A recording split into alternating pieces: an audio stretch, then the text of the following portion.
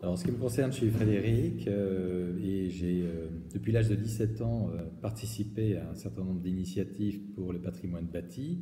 notamment en termes de restauration de monuments pas encore recensés par, dans le cercle des monuments historiques, mais en cours de, en cours de réhabilitation à titre patrimonial et aussi citoyen, puisque c'était l'occasion pour un certain nombre de, personnes d'exprimer leur intérêt pour cette histoire euh, du XIVe siècle, du XVe siècle, euh, pas seulement sur les places fortes, mais aussi un certain nombre de lieux d'habitation et de d'enceintes qui pouvaient coïncider avec des milieux de vie.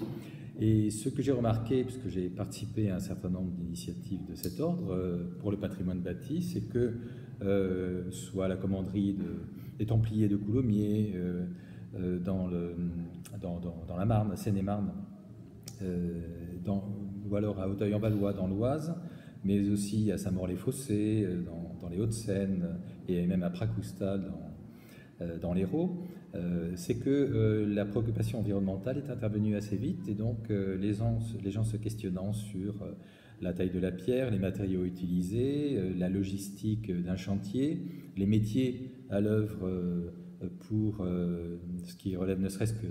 du bois, des métiers du bois, hein, pour la charpente, la menuiserie, etc.,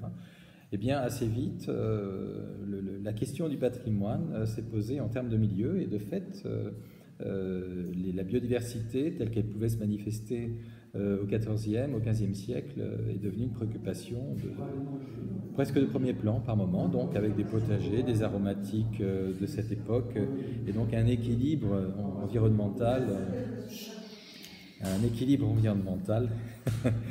euh, tel qu'il pouvait s'exprimer donc, à ces époques-là. Et donc avec euh, un lien entre les potagères et les aromatiques, euh, un travail sur les lianes, sur les plantes épiphytes, et puis donc, ce, qui, ce qui pouvait concerner, disons,